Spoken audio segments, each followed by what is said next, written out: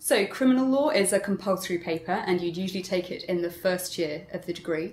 And I love teaching it because the factual situations that we deal with in criminal law, they're pretty gory. So, we're looking at homicide, sexual offences, violent offences, that sort of thing.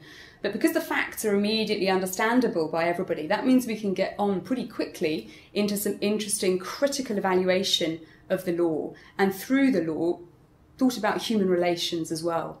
So, taking some examples from the law of sexual offences, a really important question there is what do we mean by consent, or more importantly, perhaps, lack of consent?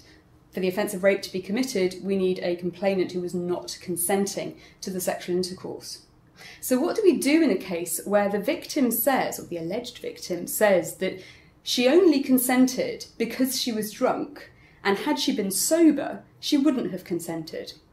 What do we do with that as a matter of law? Should that mean that for the purposes of the law of rape, she wasn't actually consenting to that intercourse? Would it make any difference to our evaluation of that situation if it was the defendant who had plied her with the alcohol, perhaps deliberately to get her drunk, hoping that he'd then be able to have intercourse with her? Another slightly different example what if we have a defendant who has some sort of sexually transmitted disease which he or she hasn't disclosed to the sexual partner, and that sexual partner consents to intercourse, perhaps instigates the sexual encounter?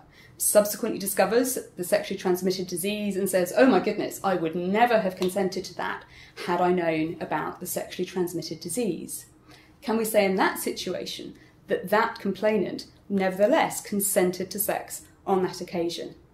So that's just two, I think, really fascinating examples, which I hope will give you some insight into some of the sorts of questions that we have to consider on the criminal law course.